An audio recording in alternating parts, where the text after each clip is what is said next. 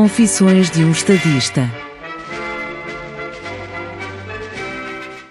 Solange Faria nasceu em Angola, município do Cazengo, província do Kwanza Norte, em 1984. Advogada de profissão e encontra-se a frequentar o mestrado em Direito e Gestão na Faculdade de Direito da Universidade Nova de Lisboa.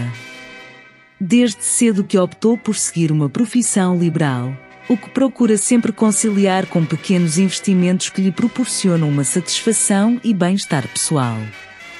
À margem das atividades profissionais, e depois de muita resistência pessoal, luta interior e de uma fé limitadora, treinou e desenvolveu as habilidades mediúnicas que a acompanham desde a tenra idade.